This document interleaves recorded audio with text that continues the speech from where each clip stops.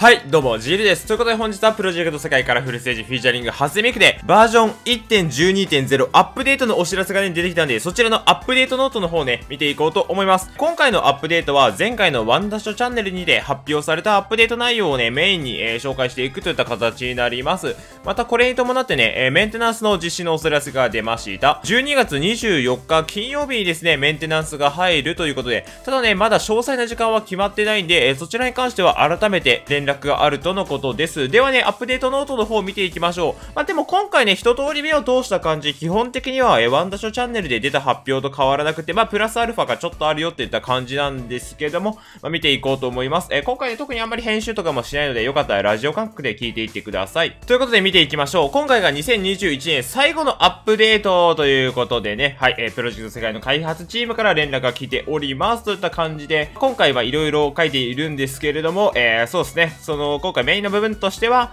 2022年は、えー、年明けに開催されるプロジェクト世界なんたらライブ、ファースト、リンク、えー、これを皮切りにね、これまでにないような体験を、えー、提供し続けられるよう頑張っていきます。といった、ね、感じで、来年もプロセカが楽しみです。そして、今回の、えー、バージョン1.12.0はね、年末にふさわしく様々なアップデートが行われます。ということで、えー、今回のね、目玉機能が、えっ、と、ワンダッシュチャンネルでも発表された絆ランクの実装ですね。えそれ以外にもキャラクターランクや、え称号の上限解放などでね、えー、いろいろなアップデートが入ってきますんで、それ見ていこうと思います。ってことで、まずはね、絆ランクの実装についてですね、えー、こちらもワンダッシュチャンネルで、えー、発表された情報にはなっていくんですけど、え、詳細が明かされました。えー、まずですね、え、好きなキャラクター同士の絆ランクを、え、ライブを遊んでアップさせることで、ことができるだね。えー、絆ランク機能が実装されます。えー、同じユニットに編成してライブを遊ぶと、リーダーに設定したキャラクターとの絆、えー、XP が獲得できて一定数溜まると絆ランクが上がります。で、また、編成枠にサブリーダーっていうね、新しい枠ができて、えー、そこの枠に設定されたキャラクターは、他の枠に設定されたキャラクターよりも多くのね、絆 XP を獲得できます。まあ、これなんですけど、サブリーダーっていうのはこの絆ランクに対してのものであって、通常の編成でなんかサブリーダーにスキルの強いキャラクターを入れたから、スコアが変わるといった感じじゃなくてね、完全に絆ランク専用の機能となります。えー、そして絆ランクがアップすると様々な報酬をもらえるということで、えー、思いのかけらがメインにもらえるんですけど、それ以外のね、えー、アイテムとして、えー、画像の方ではね、えー、ブーストやクリスタルもね、一緒にもらえるようで、またそれ以外に特別な称号や、ここ初出しですね、ライブ中の掛け合いボイスがゲットできるということで、ね、なんと掛け合いが増えるらしいです。これめちゃめちゃ楽しみですね。えー、またここで入る称号は、キャラの配置や称号名、枠をカスタマイズできる特別な称号といういうことで、えー、これまで以上にね、称号をいろいろ遊んで、好きをね、表現することができるんではないでしょうか。また、絆ランクをね、上げることのできる組み合わせは、リリース時はね、ユニット内のメンバー同士か、えー、その世界に登場するバーチャルシンガー同士、またはバーチャルシンガー同士に決定されていますが、えー、今後ね、不定期で増やしていく予定ですということです。では続いて、マジでこれは待望のアップデートですね。フレンドをみんなでライブ、バーチャルライブに招待する機能の実装ということで、やっと来ましたフレンド機能ね、これまでフレンドになれるだけで、それより先がね、何もできなかったんですけど、えー、今回からね、招待を受け取って、え、ライブのルームニュー、ルーム ID をね、えー、入力しないでもルームに参加できるようになったので、これはめちゃめちゃありがたい機能だと思います。はい、ということで、えー、フレンド招待ではね、えー、みんなでライブ、チアフルライブ、バーチャルライブのプライベートルームに招待することが可能になります。え招待を受けた側は通知が表示されて、すぐにね、そこから参加できるようになります。えまた、今回のね、招待機能の実装にあたり、えフレンドがオンライン状態か確認できるようになります。でね、えこれオンライン状態かオフライン状態か見られたくないって人もいると思います。えそれに合わせてね、オンライン状状態のオンオフのね、え表示非表示の選択も追加されるので、えそこは心配しないでください。続いて、バーチャルライブの UI 一新ということで、バーチャルライブがね、見やすくなるために、えーと、新しくね、UI が実装されます。はい、えー、まあ UI ですね、これまではめちゃめちゃ見にくいという風にも思ってはなかったんですけど、まあより見やすいようにね、えー、運営さんが、え、調整してくれたということです。で、今回ですね、えー、これですごい思ったのが、まあなんかちょっとこうスマホのさ、アクションゲームとかシューティング系のゲームとか、なんかそれの操作画面っぽい感じになって、まあスタイリッシュにはなったなっていうのがあるのと、もう一個ね、これ、お、すげえって思ったのがあって、えー、ここですね、UI を非表示にしている状態での移動ができるように改善したということで、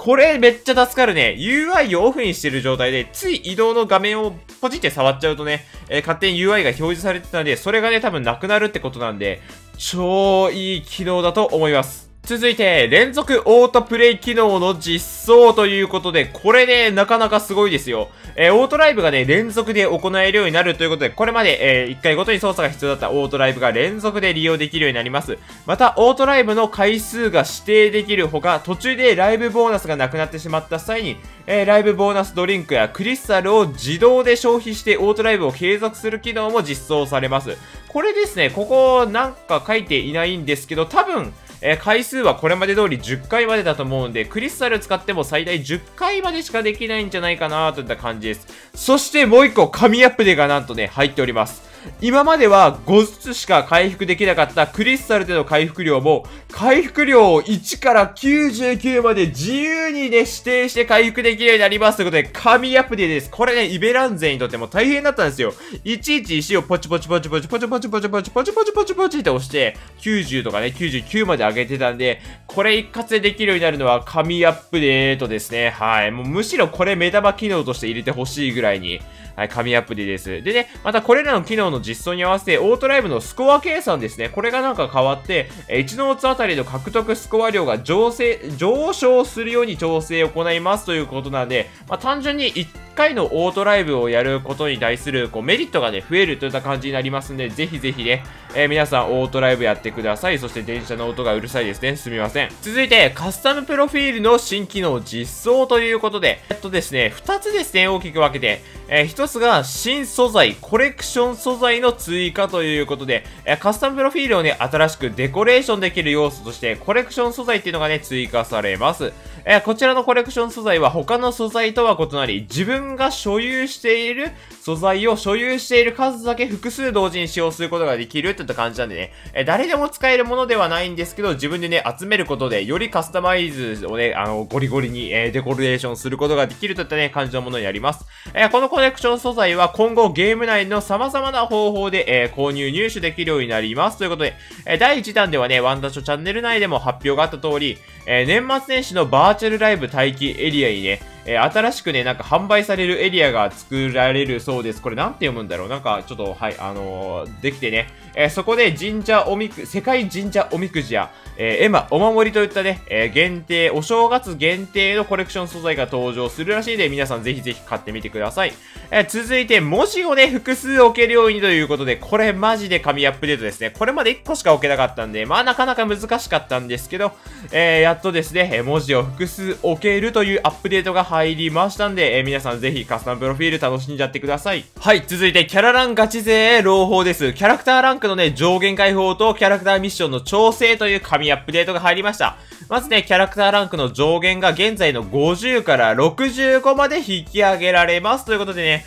もうすでに、え50でカウントしてる人が何人くらいかな？ジールさんと把握してる範囲でも多分10人、20人ぐらい。えー、いや、もっといるかな？もっといるぐらい。結構ね、50のカウント勢が出ていたんで、まあ、ここはありがたいですね。まあ、ジールはもうちょっと経たないと50届かないんですけど、えー、まあ、これに伴ってね、えー、調整が行われるんで、これが超助かります。えー、キャラクターランクバランスの緩和して、え、下記の、え、キャラクターミッションの調整を行いますということで、え、各キャラクターのね、スキルレベルをアップしようと、あとマスターランクをね、累計丸々回アップしようのね、えー、この2つの調整が行われます。え、まずスキルレベルの方が、え、キャラクターミッション1つ達成までに必要としていたスキルレベルアップの必要回数が削減されますということで、え、これまではね、41回目までは、1個スキルレベルが上がるごとに、え、1個、あの、ミッションのね、え、星みたいなやつがもらえてたんですけど、えその後がね、42個から60回目までは、2回スキルレベルが上がんないとポイントが漏れたかったんですよね。で、さらにその後、63個目から90個までは、え3回もらわないといけなかったんですが、これが調整後は、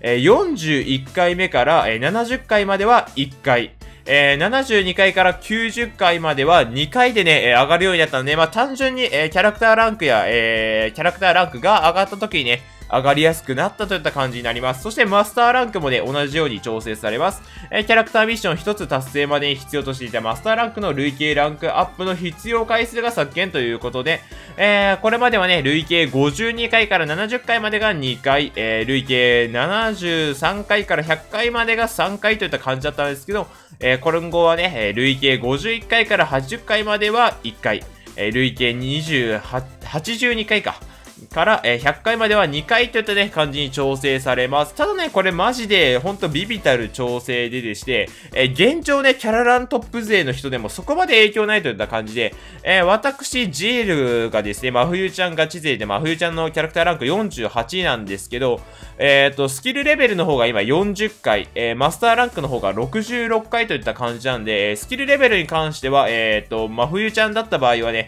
え影響を受けないといった感じになります。あー、自分、あの、マスターランクじゃない、真冬ちゃんは、え全キャラコンプの全キャラ、えスキルレベルとマスターランクマックスっていった状態なんでね、えっと、真冬ちゃんは影響を受けないみたいな感じになります。で、逆にマスターランクが今66までいってるんで、女性の方でですわね、えっと、これまで52からのところが2回になってたのが、えっ、ー、と、51から80回まで1回に調整されたっていうことなんで、えー、ジールの場合はプラスで、なんかな、8、ん、ん、ちょっと計算できないや。えー、65、まあまあ、なんか、何個か、えー、もらえて、まあ、キャラクターランク1個上がるかなってぐらいもらえるといった感じになるんですが、まあね、えー、これに関しては、ほとんどのユーザーはあんま関係ないところです、現状のところはね。えー、まあ、ただ今後ね、えキャラクターの実装数、報酬の実装数とかが増えていったら、えみんなもね、キャラクターランク上がりやすくなっていくんでね、えまあ、単純にあの、紙アップデートだと思います。えー、またね、えー、今回の調整に伴って、すでにね、えっ、ー、と、キャラクターミッションを達成している方は、えー、こちらの内容でね、キャラクターランクを調整して、とですね、今後、あの、アップデートがされた際に、え表示されるようになります。ただね、ランクアップの表